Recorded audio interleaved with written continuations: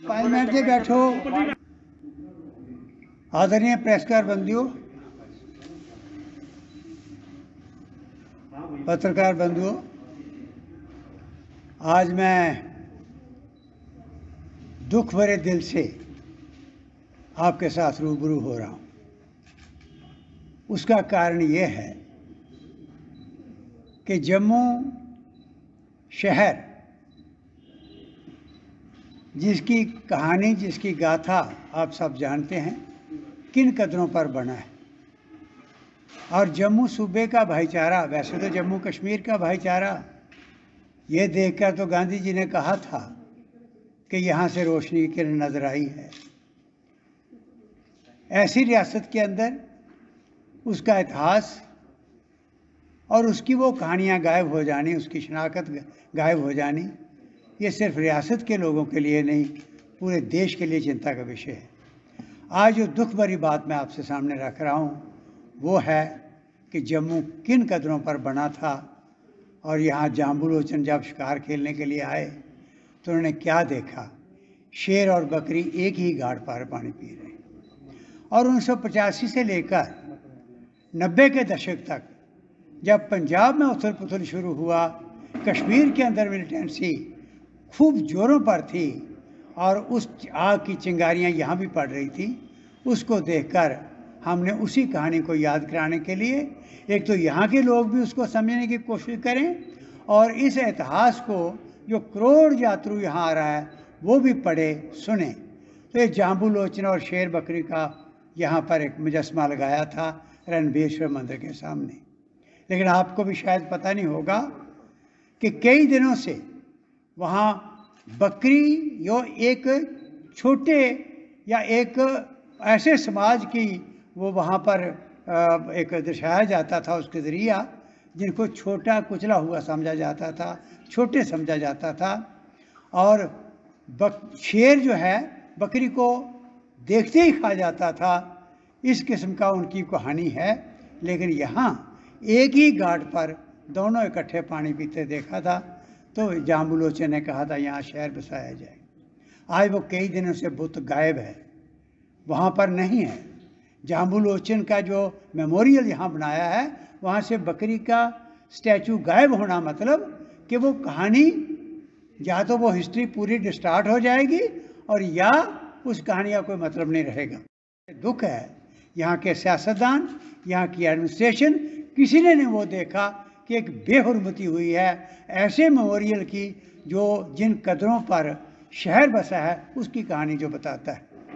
तो हमने देखा एडमिनिस्ट्रेशन से बात की कि कैसे गायब हुआ और बाद में पता लगा कि गवर्नमेंट ने जवाब देना शुरू किया कि उसको रिपेयर के लिए भेजा है। आज तक हमें नहीं पता लग रहा कि कहाँ रिपेयर के लिए भेजा, कितने दिनों के लिए भेजा और कौन वो ले गया, कहाँ गया वो।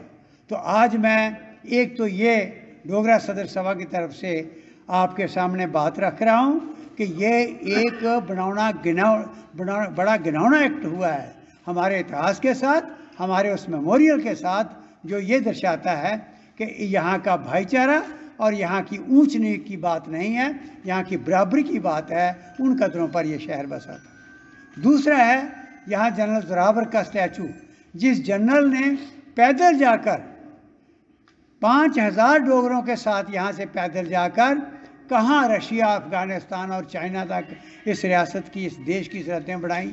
बाद में जो भारत माता के साथ हमारा मर्जर हुआ, लेकिन इस रियासत की सरहदें बढ़ाई उन्होंने। किस तरीक़े से वहाँ पर पहुँचे वो? कितने लोग वहाँ कुर्बान हुए? और उनका याद, इतिहास याद रहने के लिए गांधीनगर में बाहू प्लाजा के पास स्टैचू लगा था। वहाँ की उनकी तलवार टूट गई। और ये भी बेहरमती हुई स्टैचू की।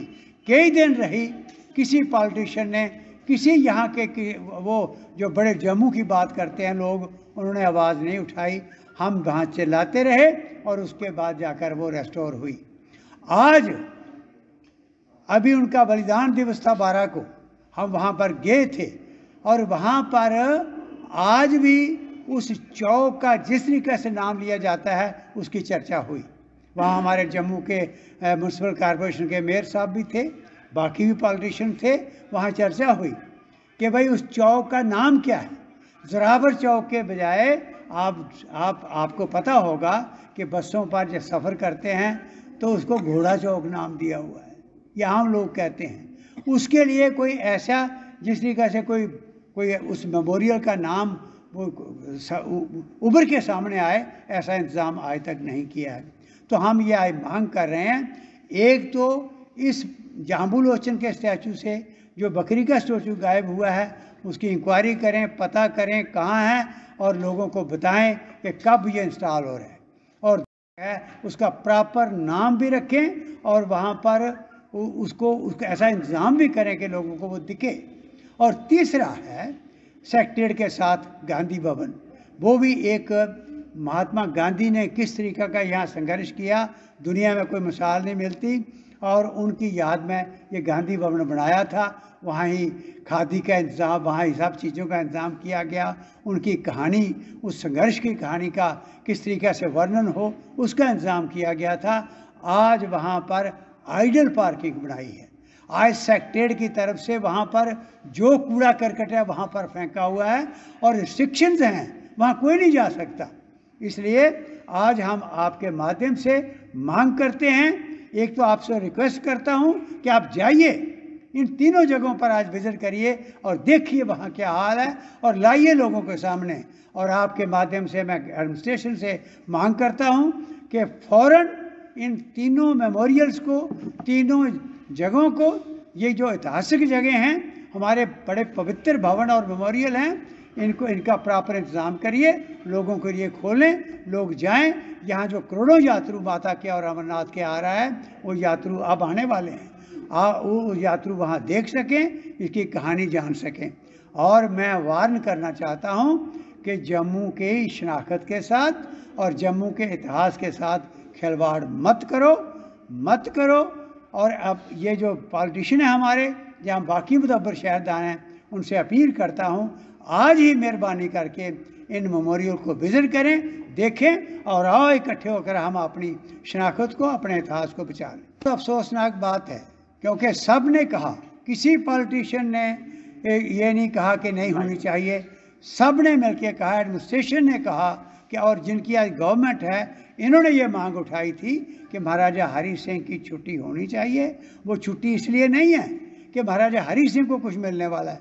वो छुट्टी इसलिए कि लोग उनके इस, इस उनको याद करके उस दिन एक उनसे प्रेरणा लें और अच्छे काम करें। चाहे वो रिफॉर्म्स की बात है गवर्नेंस की बात है और चाहे उसका वो इतिहास जो उन्होंने बनाया कि जब छोड़ा तो भगवान राम के बाद महाराजा हरि सिंह है जिसने ये पंद्रह साल का वनवास किया।